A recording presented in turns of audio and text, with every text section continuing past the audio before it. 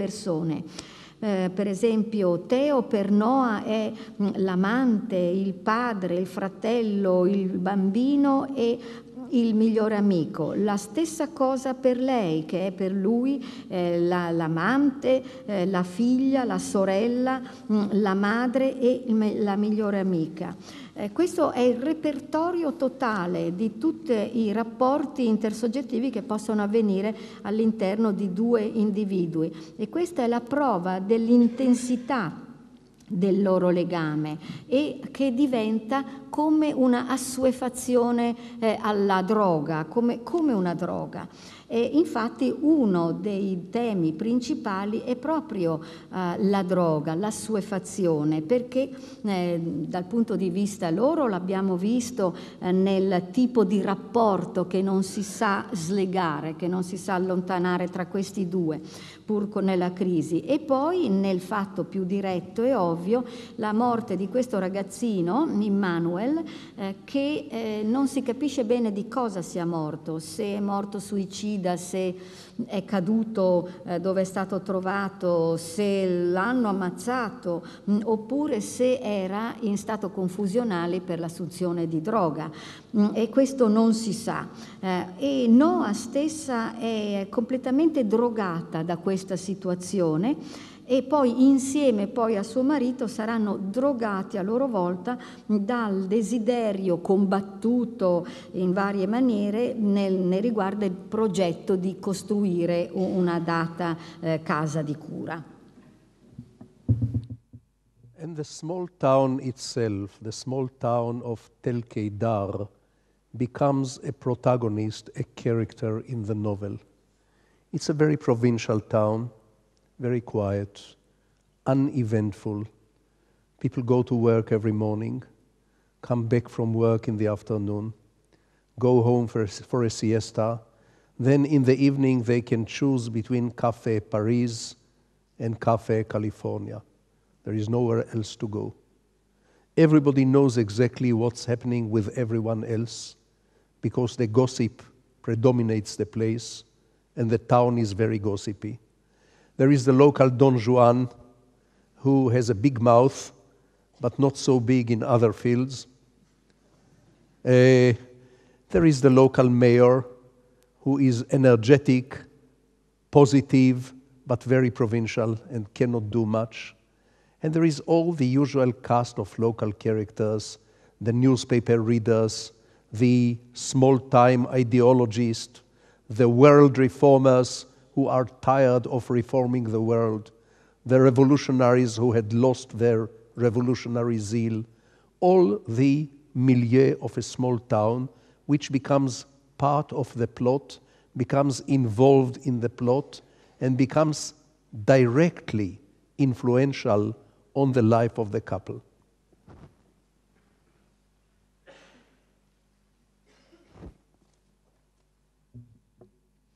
Dunque poi abbiamo la cittadina di nome Tel Kedar, eh, dove si sviluppa la, l'esistenza di questi, mh, mm, eh, queste persone, ma che è a sua volta una protagonista eh, della storia.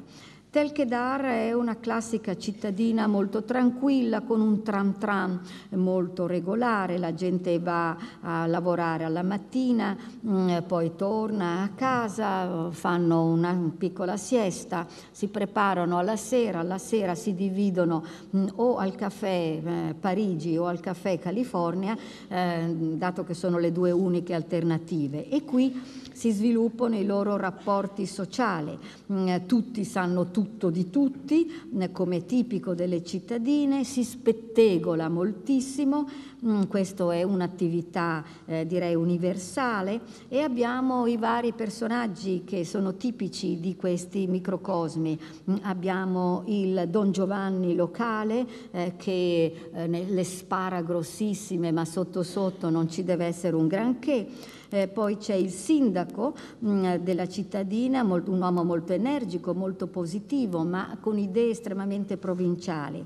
Eh, poi abbiamo tutta una serie di, di, quelli che leggono i giornali e sputano sentenze su quello che sta scritto, ideologi che ormai hanno perso la voglia eh, di tirar fuori idee mm, eh, e ideologie, riformatori che ormai hanno messo anche loro le loro riforme nei cassetti e vecchi rivoluzionari che sono tranquillissimi. Eh, tutti sono coinvolti con tutti e coinvolgono questa coppia che pure vive lì. And then there is the desert. And the desert is not just a background. The desert is not just the setting for this novel. It is a character, an active character. When the night falls, the desert enters the town because it surrounds the town from all directions the smells of the desert, the dust of the desert, the sounds of the desert, and the silence of the desert penetrate the houses. People can hear the howling of the jackals at night. People can see from their front windows the wandering Bedouins on the faraway hills. People receive the sandstorms and the changing climates and moods of the desert. I myself live in a desert town. Every morning, very early at five o'clock in the morning, I start my day by taking a half hour or 45 minutes walk in the desert. I walk alone. I listen very carefully to the silence because the silence of the desert is the silence of the desert. It's not like any other silence. It's deeper, it's larger, and I can say it's an older silence. I can hear the same silence which Jesus and the prophets and the patriarchs have heard when they crossed the desert. The desert helped me knock everything in my life into proportion. When I come back from my desert walk and I turn on the radio for the news, and I hear that this or that politician use the words never or forever or for eternity, I know that the stones out there in the desert are laughing.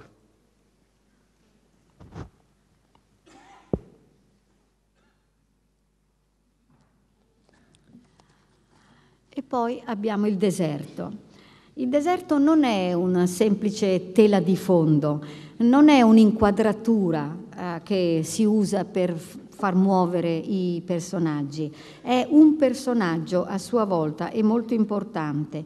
Quando cade la notte, il deserto entra nella cittadina, veramente eh, prende possesso mh, di questa cittadina. Il deserto entra nelle case per via del suo odore, eh, della polvere che solleva, del suo suono, che è un suono di silenzio.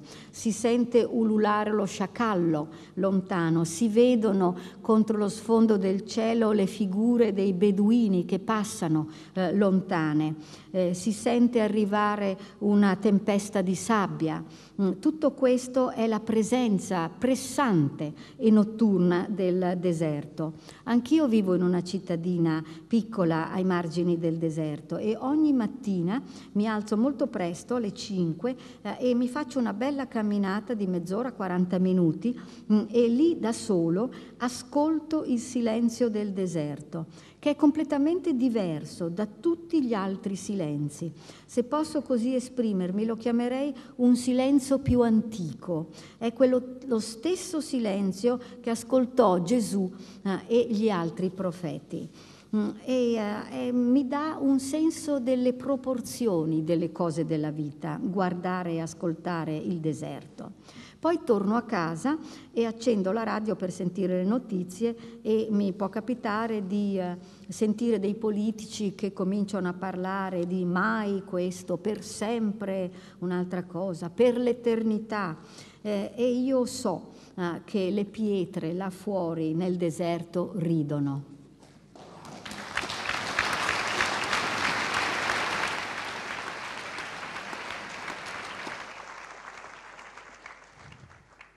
Don't Call It Night is also a novel about the irony of very good people who are trying to do good things and fail. I know literature is normally more attracted by evil than by good. In a way, it's much easier to write about evil than to write about good. Hannah Arendt, the philosopher, wrote a famous thesis about the banality of evil. But apparently, there also exists the banality of good. Good, by definition, is not very exciting. It's small time, limited, and calls for a lot of patience. When the boy Emmanuel dies in unclear circumstances, overdose of drugs, or suicide, or just an accident, his father, who is an arms dealer traveling somewhere in Africa, appears in town. He meets Noah, the school teacher. He decides, for some reason, that his boy, his dead boy, was in love with Noah. And he commissions Noah with the task to erect a memorial for his son in the town of Tel Kedar. He will pay for the memorial. But this memorial is peculiar. He wants to create an asylum, a home for drug addicts from all over the country. A very progressive, very sophisticated, very spatial home for drug addicts. Of course, no one in the town of Tel Kedar wants a home for drug addicts in town. Put it in some other town, put it elsewhere, not in our town. This puts the whole town in a state of rage. Go away, we don't want you. But Noah accepts the project and, along with a few other citizens, tries to carry out the fulfillment, the creation of such a memorial project, the Asylum for Drug Addicts. Theo is uninterested. In fact, he is both skeptical and jealous. He doesn't want Noah to be busy. He doesn't want her to have her own project. And he doesn't believe in the necessity or the possibility or the reason of creating a drug addict asylum in this particular small town of Tel Kedar.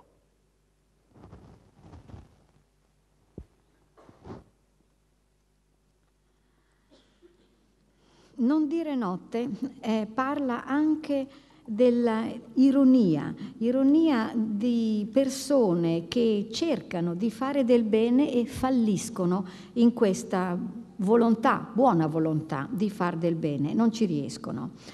Eh, la letteratura in genere è più attratta dal male eh, che dal bene, è anche più facile in un certo senso descrivere il male, eh, è più difficile descrivere situazioni dove c'è il bene come protagonista.